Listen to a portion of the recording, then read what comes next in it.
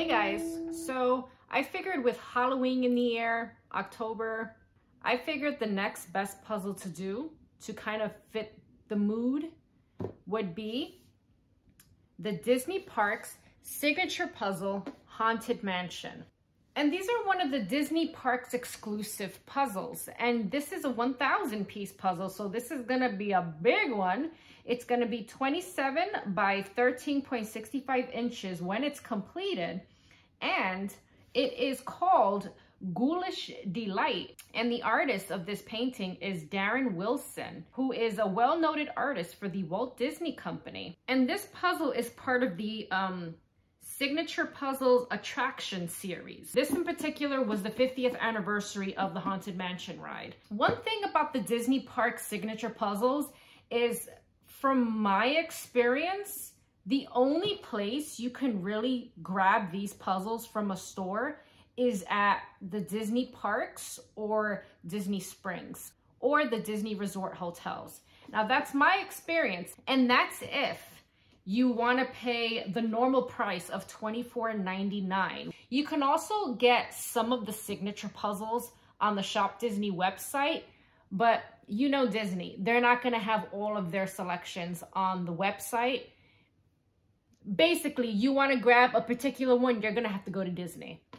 But there are other websites and other sellers online that do sell these puzzles, but you're most likely going to be paying more than the actual retail price. Now, one of the reasons why I picked up this puzzle the last time I was at Disney World was because I think this image is so cool.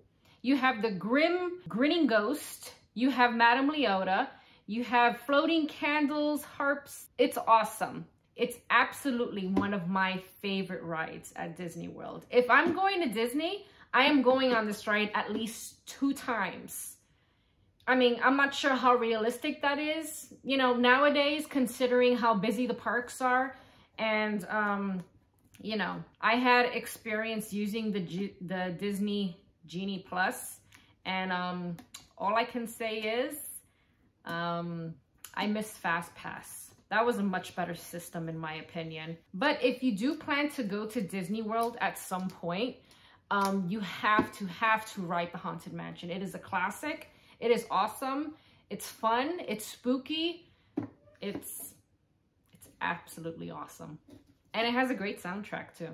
Hit the like button if you love the Haunted Mansion ride. And if not, let me know what is your favorite ride at Disney World. First impressions, just by looking at this image, this is not going to be easy. Honestly, I am quite intimidated. I'm a little scared at how long this is gonna take me. There's a lot of very dark tones here. We have a lot of grays. The whole image is basically different shades of gray. I'm pretty sure all this background, this um, black and brown areas, the ghosts, I mean, even the greeny kind of color of the ghost and Leota kind of look the same. So I have a, this, I don't know, the more I look at this, the more scared I'm getting of this puzzle. And not because it's a spooky image, but I mean, what do you guys think?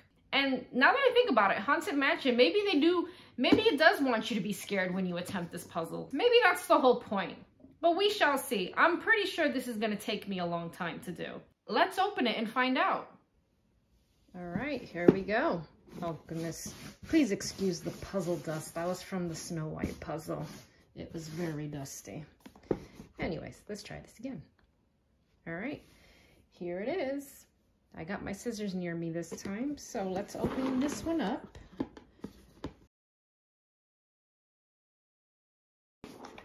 All right, the grand reveal. All right, this one doesn't have as much puzzle dust as my last one did.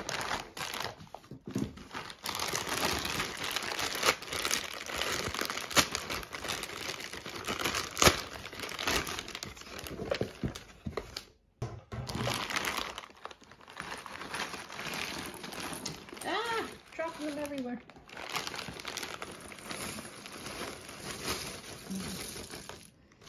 Ooh. Oh, got scraggle scragglers in there. Whoa. Okay, I'm a little intimidated. Oh my god, they're so dark.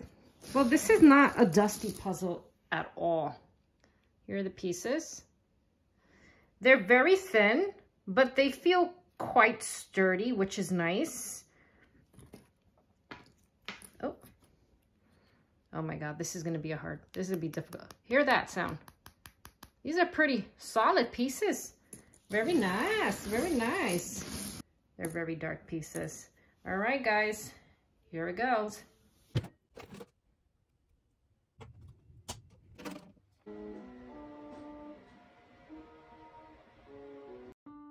So I thought I'd throw in a few fun facts that I found while doing some research on the Haunted Mansion.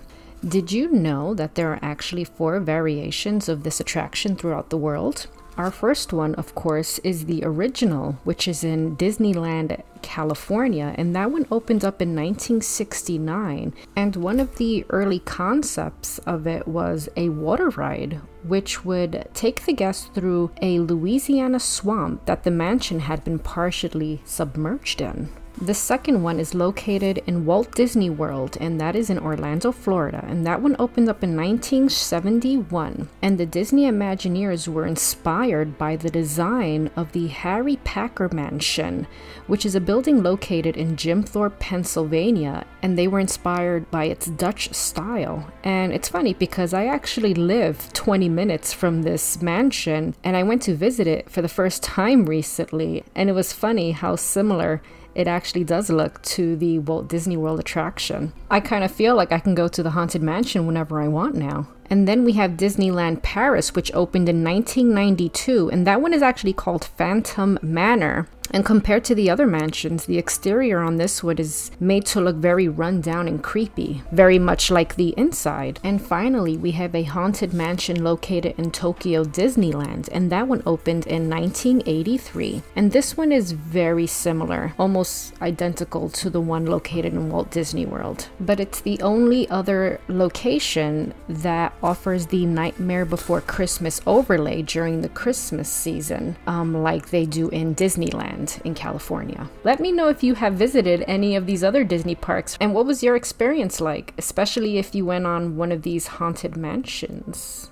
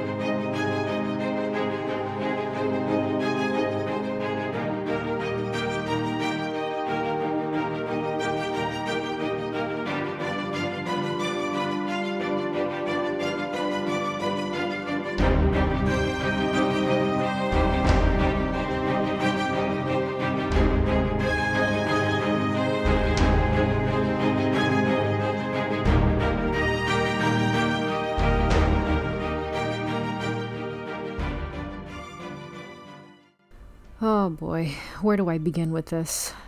So, I warn you guys, this puzzle will haunt you for different reasons. And one of those reasons is not because it's a spooky looking puzzle. One of the biggest issues I had with this set was the fact that it did not come with a poster. And considering the price, you would think it would.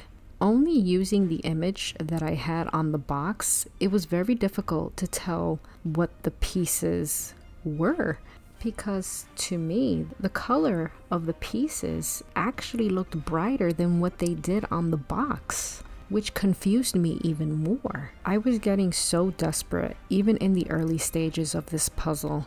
I had to change my sorting method numerous times. I'm sure the lighting in my room had a lot to do with it as well, but it didn't help that these pieces also had that annoying glare to them. So it made it even harder to kind of tell what I was looking at. I mean, the pieces themselves are nice and solid, but I did have, once again, that issue with popping pieces like I did with the Snow White puzzle. And it was frustrating because, like before, I would put a piece in or take one out, and then suddenly a whole bunch of them would just like kind of flutter on the board. It was really frustrating. This puzzle took me an eternity to complete. I seriously thought that I would turn into a ghost before I finished it, and I'm not exaggerating when I say this, but this puzzle actually kept me up at nights.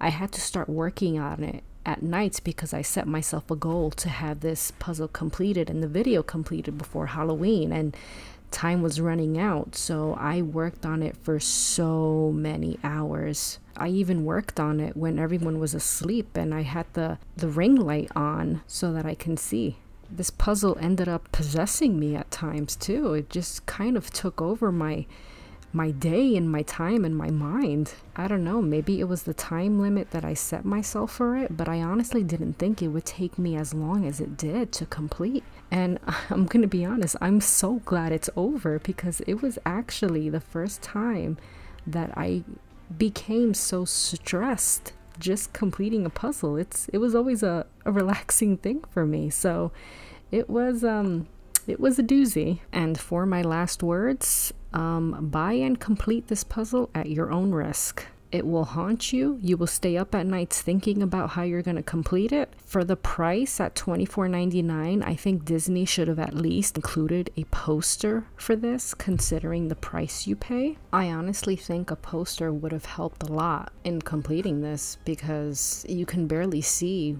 the details on the box itself. Please let me know if you've had any haunting experiences um, with this puzzle. And if you have, how long did it take you to complete? And that's if you even were able to um, record how long it took you. Because after a certain point, I kind of just gave up recording my time because I totally lost track of it. What I do know is that it took me a span of 10 days. Uh, well, this is over now. Thank you guys for watching. I'm going to move on to a more colorful, more happy looking puzzle for the next video. And I am very much looking forward to it. And surprise, it's not going to be a Disney puzzle. I think I need a break from Disney after this haunting experience. If you would like to continue following me on my jigsaw journey, be sure to subscribe so that you can keep up to date with all my new puzzles and reviews. Well, guys, again, thanks for watching, and I will see you in the next one.